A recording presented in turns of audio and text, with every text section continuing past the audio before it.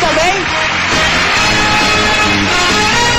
Eu também sou muito bem. Olha, gente, eu tenho que falar de um assunto, até porque esse assunto acho que nunca vai ser um assunto antigo. Uh, eu espero que não mesmo, porque há alguns dias eu acho que muitas pessoas como eu, eu nunca, eu não sou fã de ninguém, de ninguém. Só de uma pessoa. Eh, foi a única pessoa que conseguiu se tornar um ídolo para mim, uma referência. Uh, e é claro que eu estou falando do Michael Jackson. E de verdade eu chorei quando eu quando eu soube da morte prematura dele. Eu achei que foi uma coisa a vida foi tirada desse rapaz ou se, talvez a vida nunca tenha sido dada para ele. A impressão que eu tenho, é, eu cresci acompanhando a carreira do Michael Jackson e para mim esse menino nunca passou de 8, 9 anos de idade mental. É, eu não, uma luz como poucas pessoas, o maior talento, o maior astro do, do século XX, sem dúvida. É, quando ele, nos primeiros anos da, do Jackson 5, ele já tinha esse pé mágico.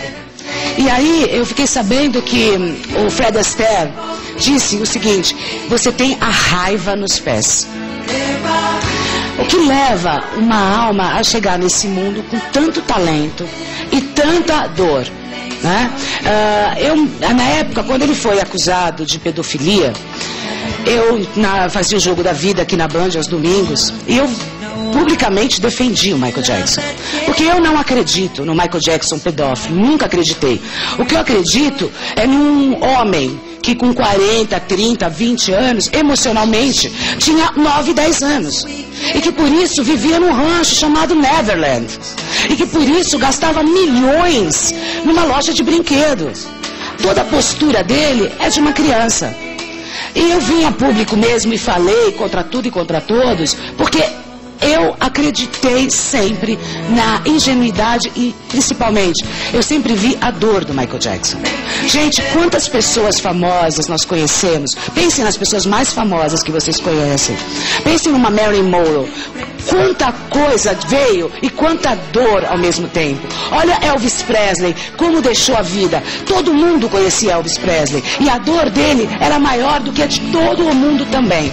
Muitas pessoas agora, eu vi o reverendo, que é da, da, da família do Michael, falando no dia da, da morte dele, falando, olha, agora as pessoas apareceram para dizer, Michael, uh, nós amamos você. E onde vocês estavam quando o Michael começou a entrar em depressão com as acusações? Aonde vocês estavam?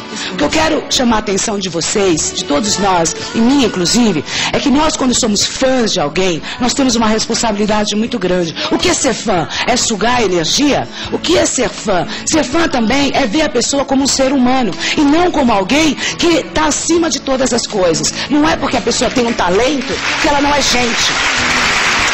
Nós temos que ver a dor desse rapaz. Todo mundo falou: ah, ele fez mil plásticas, ele, ele mudou o nariz, ele morreu, não tinha nariz, estava com mil cicatrizes. Por que, que ele fez essas plásticas? Por quê? Vocês sabem? Eu arrisco um palpite. Porque ele nunca se aceitou. Porque todo mundo aceitou o Michael Jackson, menos ele mesmo. E ele vendeu agora não sei quantos milhões de discos depois que morreu. E quando ele estava vivo, é, todo mundo estava criticando. É o louco, é o pedófilo, é o que joga a criança pela janela. Vocês acham que ele ia jogar o filho pela janela? Alguém é capaz de dizer um absurdo desses?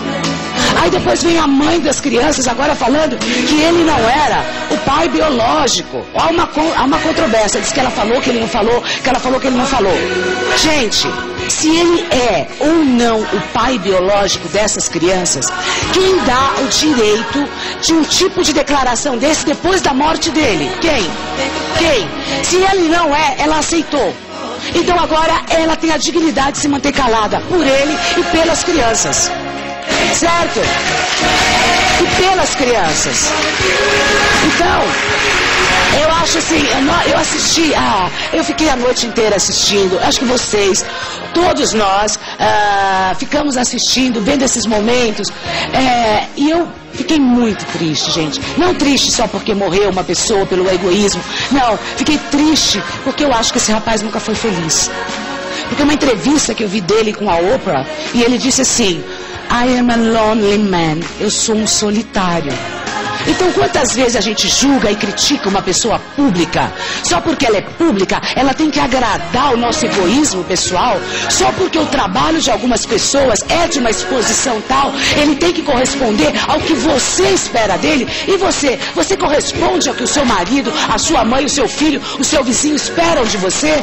Que cobrança é essa que você faz em cima de uma pessoa pública? Será que nós, todos, não somos responsáveis pela dor do Michael Jackson? Será que nós respeitamos esse rapaz por quem ele era? Ou será que nós quisemos sugar o talento dele para satisfazer o nosso egoísmo pessoal? Ou a nossa inveja? Porque muita gente, eu tenho certeza, não estou falando de mim, de vocês, estou falando em geral, gente. Muita gente olhou para esse menino e falou: é um negro. Como é que ele pode fazer tanto sucesso? Porque ele rompeu o estigma nos Estados Unidos dos negros fazendo sucesso. Em primeiro lugar da música pop. Vocês pararam para pensar no Michael Jackson como pessoa? Hã? Não foi só o Michael Jackson que fez o Moonwalker, não é isso. Essa pessoa, gente, veio para o mundo com uma luz, com um talento, com um brilho e com uma dor muito maior. Então, eu estou falando isso, todo mundo falou, eu não falei ainda, até porque eu não estava nem preparada, porque de verdade cortou meu coração, como cortou o coração de muita gente. Mas eu queria aproveitar a história de Michael Jackson para trazer consciência para todos nós. Consciência de como nós cobramos e julgamos o outro. Como nós julgamos. Ele fez plástica, ele está branco, ele não sei o quê, ele esconde os filhos. Você sabe o que estava passando dentro dele? Você sabe quanto ele deu pra gente? Vocês viram quantas horas ele ensaiou nos últimos dias antes de morrer? Vocês viram que ele estava com dores? Será que ele não estava fazendo tudo isso, colocando o físico além do limite, para poder corresponder a uma expectativa que nós tínhamos dele? É complicado, gente. É complicado e é sério. Vamos parar para pensar nos julgamentos que nós fazemos a respeito dos outros. Não vamos julgar ninguém porque nós não queremos ser julgados. E hoje eu vou ter como homenagem ao Michael Jackson uma pessoa, um, convidado aqui no programa é, mas como uma homenagem ao Michael Jackson, a minha homenagem a ele.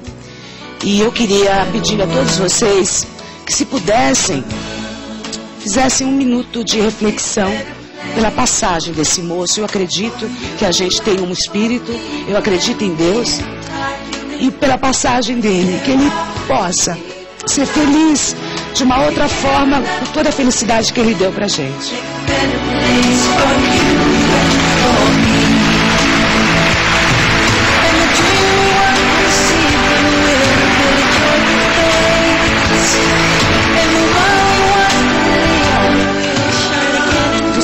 Mas eu realmente amava Michael Jackson.